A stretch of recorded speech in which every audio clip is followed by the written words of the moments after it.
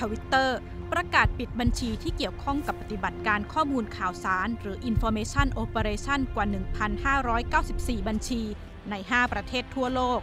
เพราะละเมิดข้อกำหนดการใช้งานของทวิตเตอร์ไทยเป็นประเทศที่ถูกปิดการใช้งานบัญชีทวิตเตอร์มากถึง 926 บัญชี รองลงมาคือคิวบา 526 บัญชี อิหร่าน 104 บัญชีซาอุดิอาระเบีย 33 บัญชี และรัสเซีย 5 บัญชี ทวิตเตอร์ระบุว่าในไทยพบข้อความที่เกี่ยวข้องกับปฏิบัติการ I.O. มากกว่า 20,000 ข้อความจาก 900 บัญชี แต่มีบัญชีที่ใช้งานจริงราว 400 บัญชี เนื้อหาส่วนใหญ่สนับสนุนรัฐบาล สนับสนุนกองทัพ และโจมตีกลุ่มการเมืองฝ่ายตรงข้าม เช่น อดีตพักอนาคตใหม่และพักก้าวไกล บัญชีส่วนใหญ่สร้างขึ้นเมื่อปลายปีที่แล้วถึงต้นปีที่ผ่านมา และหยุดทวิตไปเมื่อเดือนมีนาคม การทวิตเกิดขึ้นเป็นช่วงๆ ระหว่างเหตุการณ์ใหญ่ ๆ เช่นเหตุกราดยิงที่นครราชสีมา กรณียุบพักอนาคตใหม่ และการประท้วงแฟลชม็อบของเยาวชน ในรายงานระบุว่าปฏิบัติการข้อมูลข่าวสารที่เกิดขึ้น แม้จะมีจำนวนมาก แต่ไม่ค่อยมีประสิทธิภาพ กว่า 600 บัญชี ไม่มีผู้ติดตาม และไม่ค่อยมีปฏิสัมพันธ์กับผู้ใช้ ขณะที่กองทัพบบกออกมาระบุว่าการเชื่อมโยงบัญชีที่ไม่สามารถระบุตัวตนได้กับกองทัพ เป็นข้อสรุปที่ไม่เป็นธรรม ในสื่อโซเชียลทั้งหมดเนี่ยครับที่กองทัพบกได้ใช้เนยเราขออนุญาตยืนยันว่า เราใช้เพื่อการประชาสัมพันธ์นะครับงานของกองทัพบกนะครับโดยเฉพาะงานที่สำคัญที่สุดเนี่ยครับของกองทัพบกก็คือการช่วยเหลือประชาชนนะครับในสถานการณ์ต่างๆซึ่งพวกเราก็คงเห็นแล้วว่าประเทศไทยเนี่ยนะครับในขณะนี้นะครับรวมทั้งภูมิภาคเนี่ยนะครับจะมีสถานการณ์ที่วิกฤตอยู่เสมอเช่น ภัยพิบัติที่เกิดขึ้นจากพายุเนี่ยนะครับนะครับจะเกิดขึ้นบ่อยมากนะครับนี่คือสิ่งที่เราจะนำสื่อโซเชียลต่างๆนั้นนะครับ มาเพื่อที่จะ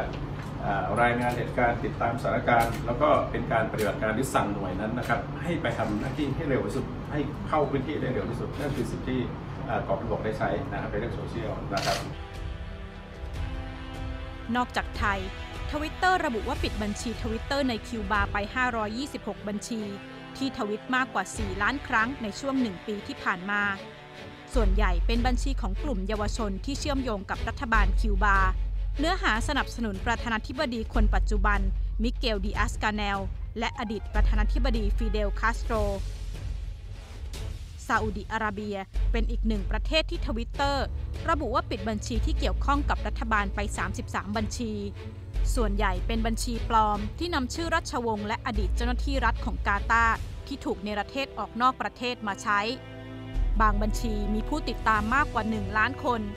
ก่อนหน้านี้ใช้เผยแพร่ข่าวลวง เรื่องรัฐประหารในกาตาร์ผู้เชี่ยวชาญด้านความปลอดภัยไซเบอร์ ระบุว่าบัญชีปลอมที่ไม่มีตัวตน อาจจะไม่สามารถเชื่อมโยงโดยตรงกับกองทัพ เสนอให้ทวิตเตอร์ปรับนโยบายยืนยันตัวตน เพื่อลดปัญหา I.O. และบัญชีปลอม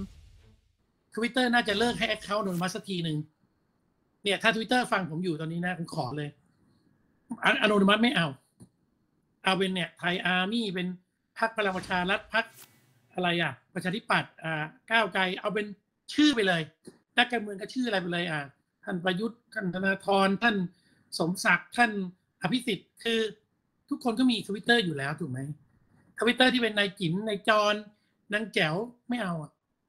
เหล่านี้ไม่เอานายคนนั้นนายคนนี้ซูเปอร์แมนสไปเดอร์แมนถ้าทวิตเตอร์อยากจะให้มันโปร่งใสจริงนะ ไม่ต้องมาทำ report พวกนี้ ให้ modify ตัวตนให้ได้หมดเลย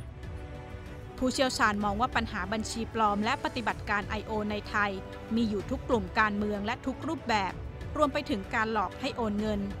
จำเป็นอย่างยิ่งที่ทวิตเตอร์อาจจะต้องพิจารณาใช้นโยบายยืนยันตัวตน